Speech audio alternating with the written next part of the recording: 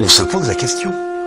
Mais comment le gouvernement va-t-il lutter contre la radicalisation dans les prisons? Puisqu'apparemment c'est un fléau. Comme ça